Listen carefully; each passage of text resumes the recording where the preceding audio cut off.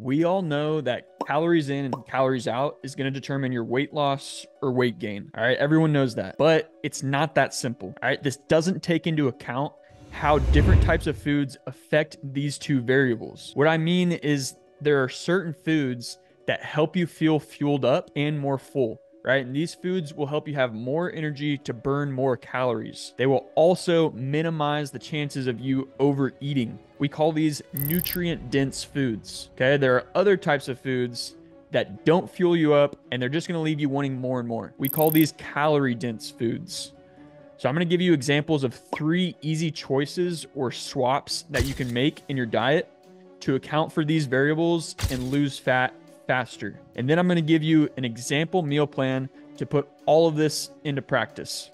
All right, so let's dive into it. So, swap number one is going to be highly processed foods for less processed foods. Okay, examples are replacing white bread for whole grain bread or sugary cereals for oatmeal right? The benefits that you're going to see by doing this is keep yourself feeling fuller longer. You're going to provide yourself with more nutrients and energy, and you're also going to have more thermal effect of food, which allows you to burn more calories simply from digesting the food. The thermal effect of food is how many calories you burn by digesting the food. And just by making this swap, less processed foods is going to allow you to burn more calories just by digesting that food.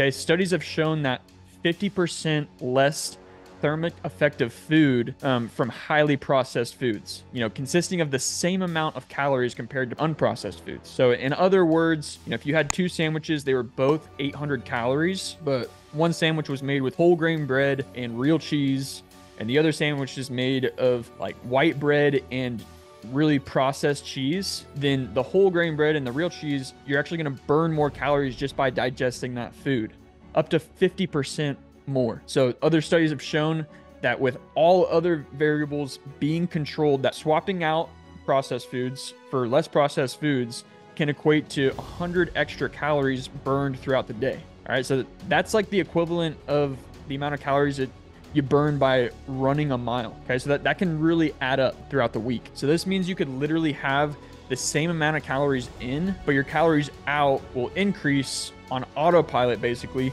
by making this swap. All right, so that's swap number one, you know, replacing your processed foods with less processed foods. All right, so swap number two is going to be starting to do intermittent fasting. All right, so I've talked about it before, but nutrient timing doesn't matter all that much when it comes to you know how many calories you're burning and how much fat you're burning throughout the day. But i found that it does help a lot when it comes to adhering to the diet right? Especially if you're in a significant calorie deficit. For myself and many of my clients that i've worked with restricting the, the eating window has made it a lot easier to hit the calorie goals and lose fat with more ease. I actually wrote a research paper in college on intermittent fasting because I found it very beneficial for my own life. All right. Not only has it helped me reach my fat loss goals, you know, when I've been dieting down, but is it's also changed my relationship with food for the better. All right. When you when you don't eat during your fasting periods, you start to develop a different relationship with food.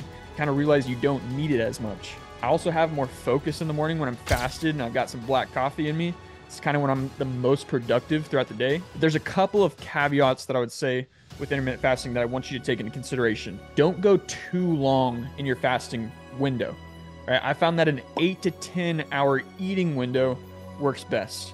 All right, longer fasts can actually end up affecting your hormones and even lead to more binging due to hunger. So that's one thing to take into consideration. Also pay attention to fueling your workouts right? One of the, one of the main cons that I found when doing research for my research paper on this in, in college was and fasting in general can affect your performance when you're in that fasted state, right? So take that into consideration. And if you can control it, right? If you can control your schedule, then try to train during your eating window to make sure that you're fueled up before and after your workouts and you're recovering from those workouts. But like I said, fasting can definitely make it easier to stick to your diet when you're in a significant deficit by just helping you feel full while you're eating and then just take advantage of restricting that eating window to, to be able to eat less calories throughout the day. Okay, so that, that's swap number two. And then swap number three is choosing satiating foods, right? Choosing foods that are actually going to help you feel more full, right? So there are some foods that help you feel more full for longer, right? Not not only processed versus unprocessed,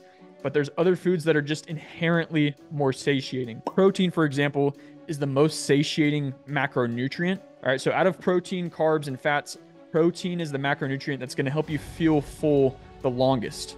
All right, so this is another reason why you should really prioritize protein as your main macro. All right, pay attention to the calories, but the, the macronutrient that I find most important is protein. Um, you know, this being one of the main reasons. I've had feedback from a lot of my clients that just by switching to a high protein diet, it's helped them feel a lot more full, even when their calories are lower than they were before. Right. So even when they're eating less calories overall, by switching to a more high protein diet, they they stay full and satiated longer. But even eating different foods with the same macro and calorie profile can make a difference with this as well.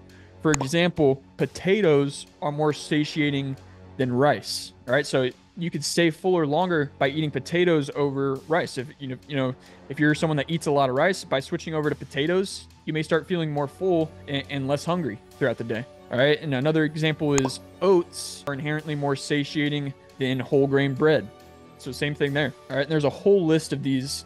Um, it's called the the satiety index, um, and it kind of ranks different uh, foods to to how satiating they are, right? Based off of studies, like actual research. Just like the timing of your meals can affect adherence, so can eating foods that keep you feeling full for longer, right? Obviously, it's easier to stick to a diet um, if you're feeling more full, right? So if you're eating foods that that are just inherently more satiating, that's going to allow you to stick to the diet and feel full and, and adhere to it. So now let's put all this together, right? So let's let's kind of put a sample meal plan together. Of course, your your portions are going to vary depending on um, your starting point, your gender, and your weight, and your experience level, and your goals. Um, but I'm going to make it super simple. So we're going to break your fast around 10 or 11 a.m. That's typically when I break my fast with oatmeal, one whole egg, and a cup of egg whites. All right, this is just an example breakfast for you, right? The oatmeal is very satiating, good nutrient dense carb, complex carb. Uh, you're going to get good fats from the whole egg, but we're going to make it a little bit less fatty with the egg whites for the rest of it. Um, this is going to help you feel fueled up and it's going to help you feel satiated for, for most of your day. Then we're going to eat again early afternoon. And what your basically your lunch is going to be is going to be sweet potatoes in either chicken breast or lean ground turkey. All right, so you're going to get a good lean protein source. And the sweet potatoes, very satiating. Another complex carbs. There's also good vitamins in sweet potatoes, vitamin A. Um, so that, that's going to be a good lunch for you. And then have an apple or a banana, you know, some sort of small fruit or snack like that um, before your workout if you're working out in the evening and then have a protein shake after your workout all right again we want to try to like have these kind of strategic snacks since those are probably your most spread out meals between that lunch and your dinner you know just fuel you up around that workout and help recover afterwards dinner should be after your workout maybe around 7 p.m and could be whole grain pasta with lean ground beef meat sauce. So this is going to give you a nice, still lean, you know, try to go for like a 94.6 lean ground beef and this is going to be a nice lean protein source. And then believe it or not, like whole grain pasta is actually very satiating. Of course, you know, the biggest factor, and that's basically your example day right there, just to, to lay that out for you um, with everything put together. But, you know, the biggest factor in losing your weight, like I said, is sticking to a calorie deficit, but use all of these principles um, to make that process as easy and effective as possible on yourself. So if you'd like more of a comprehensive guide when it comes to meal planning, then message me fat loss on Instagram. But I hope this video was helpful for you. If you liked the video, then like the damn video, subscribe for more personal development content like this. And I'll see you guys in the next video. But in the meantime, elevate every damn day. Peace. Elevate. Only obligation is to tell it straight.